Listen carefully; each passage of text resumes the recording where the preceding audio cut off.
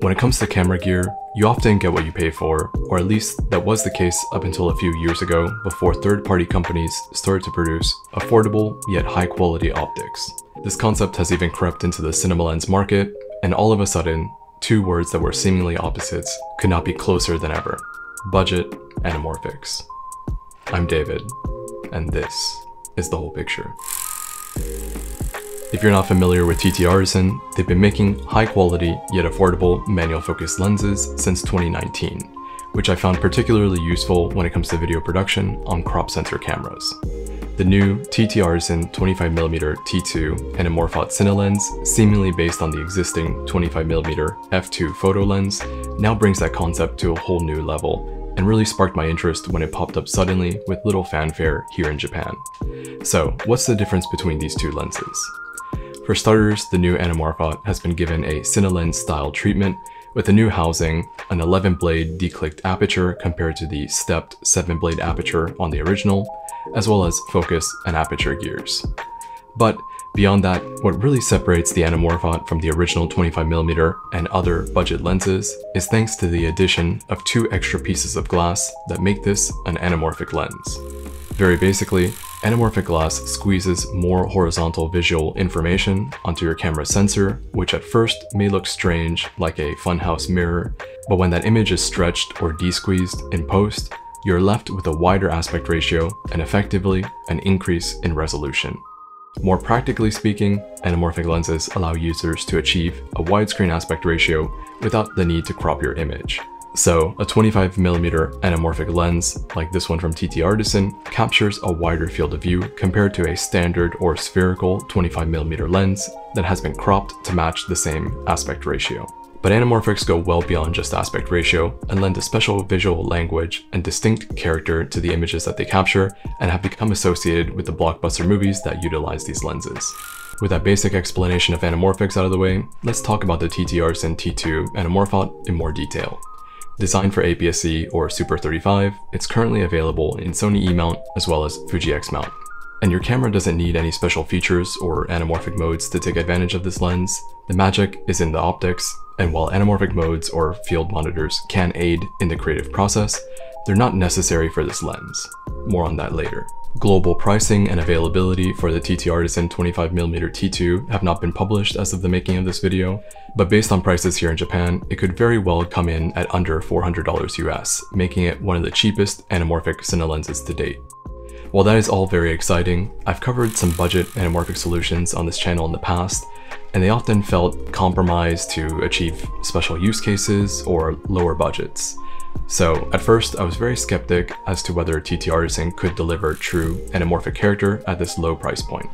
But after using it for a few days, I have been pleasantly surprised by not only the user experience, but also the results.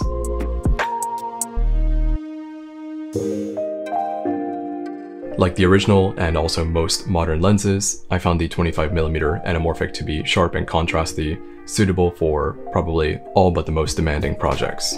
And like many other budget anamorphics, the horizontal anamorphic flares also tend to be sharp, thin, and saturated, in this case blue streaks. But it depends on how it catches the light. In general, I found that the flare was not unruly and needs a strong direct light source to become prominent in the image. Interestingly, certain light sources can also cause a sunburst style flare that becomes more of a sun star as you stop down, and this also often accompanies the anamorphic flares. Horizontally, this lens produces an angle of view very similar to that of a 28mm on full frame. So while versatile, it is on the wider side and does exhibit anamorphic distortion, where the image can feel slightly warped forward and lines can appear to bow towards the camera depending on the situation and settings. This is normal and in some cases actually sought after when it comes to choosing anamorphics. The TT Artisan distortion is more on the subtle side, but still enough to set it apart from traditional spherical lenses. Speaking of distortion, due to the optical design, elements on the edges of the frame can appear different than elements in the middle of the frame, something you can more easily observe when introducing movement like a camera pan or a subject walking across the frame. Once again, this is a characteristic of anamorphic lenses and can add to the visual language of your project when used effectively. Another unique anamorphic characteristic that's easily recognized would have to be the focus breathing. With a TT Artisan, racking focus causes the frame to shift to a degree that elements on the edge of the frame might appear or disappear, like in this example. This is all very characteristic of anamorphic lenses, but one area I found the TT Artisan lacking in was the rendering of out-of-focus elements. Blur is not exactly the dream-like rendering many might picture when talking about anamorphics, and at the same time, bokeh is not exactly circular like we see on traditional spherical lenses, but it's also not an oval shape which has become a hallmark of anamorphic lenses. This is partly due to the square front optical design, but also in part due to the squeeze ratio. In many ways, the TT Artisan 25mm T2 Anamorphot offers a lot of anamorphic characteristics and cine-style features for newcomers to experiment and learn with. It's truly a great value for money, offering cinema-style features, a sharp image, fast aperture, all in a tiny package that weighs about 300 grams. This would make it a fantastic spherical lens, but the fact that it's also an anamorphic lens is pretty wild. But in many ways, you also do get what you pay for here. The lenses used in Hollywood cost upwards of 10 times the TT Artisan, and often for good reason. One of them being the squeeze ratio, or how much more information is captured horizontally, with higher ratios typically rendering more pronounced anamorphic characteristics but also at the cost of more demanding manufacturing requirements, with the Hollywood standard being a 2x squeeze. But we also now have a variety of ratios including 1.8, 1.6, and 1.5 to name a few, which can offer a nice balance of anamorphic character with price and size for modern pros and consumers alike.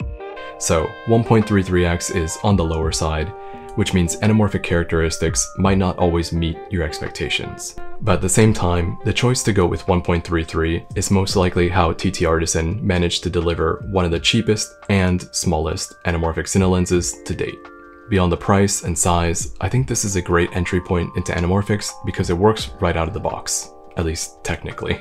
No need for adapters or clamps like with a custom rig, and as I mentioned earlier in the video, you don't need a camera with anamorphic modes or separate accessories like a monitor to use the lens. 1.33x is in many ways beginner friendly, and with a little bit of practice, I think most users will find it easy enough to frame shots with the image slightly squeezed in camera. In fact, that's how I've been using this lens for the most part. But what's great about the TT Artisan is that it has built-in focus gears and standard filter threads, so if you get more serious about filmmaking or need to film something more complex, it's easy to integrate it into a rig to suit different situations. On that note, I did want to mention a few things for advanced users. The TT Artisan 25mm Anamorphot seems to implement a synchro style focus system, and the front of the lens does not rotate or telescope during focusing. So using specialty filters should be no problem, and budget matte boxes like those from Tilta are easy to use. But the outer diameter seems to be of a non-standard size, so clip-on style cinema accessories may be more challenging to use. And thankfully, the use of a filter, even a thicker variable ND or diopters, don't seem to vignette for 16 by 9 or 17 by 9 acquisition. That being said, I've been testing the lens on Fujifilm's X-H2S with the OpenGate 2x3 mode, and when filming a bright scene like a white wall, if you look closely enough, you might be able to see dark corners ever so slightly creeping into the frame. This is without any accessories in front of the lens and with the image stabilization turned off. But honestly, it was something that almost went unnoticed in my testing, and even after realizing this, I still continued to film everything in 2x3 OpenGate, which with the 1.33 anamorphic gives you an almost 2 to 1 aspect ratio when de-squeezed. This is one of the areas where the language or standards behind anamorphics can become a little confusing, even for those with experience.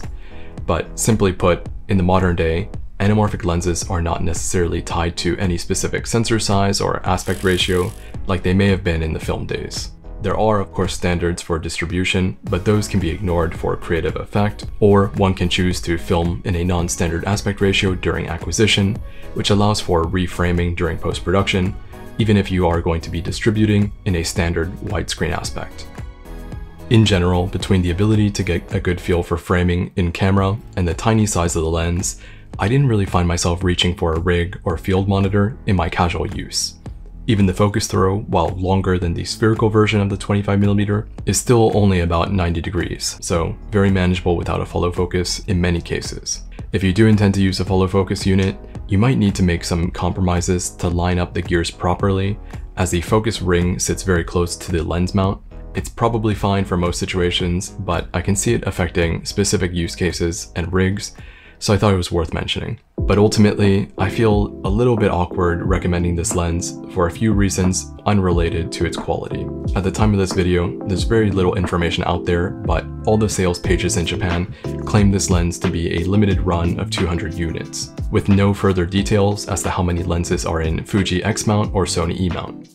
In fact, not only does the lens not feature a limited edition numbering system like 1 out of 200, but I could not find a serial number anywhere, not on the lens mount or barrel or in the box, making the issue more confusing. In the manual, Micro Four Thirds is mentioned as a mounting option. The lens cap is also very generic and cheap compared to the more premium and branded caps on other TT Artisan lenses. It all feels just a little bit off to me.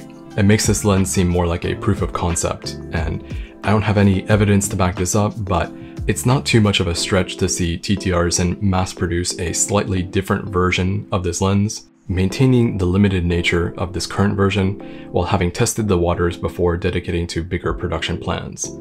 If that does become the case, I really wish there was more transparency from the start. Even information on future plans to produce other focal lengths would have been very much appreciated. But as is, a limited run of 200 lenses in one focal length is very niche and the potential for it to end at that makes it difficult for me to recommend it wholeheartedly other than as a fun lens to use casually. But let me know what you think about this and if the TT Artisan Anamorphot is available or marketed differently in your country. And if the situation does change, I will be updating the description of this video, but in many ways, I feel like this is part of that you get what you pay for mentality, and it goes beyond the build quality or image quality. Anyways, I'm David, and this is the whole picture.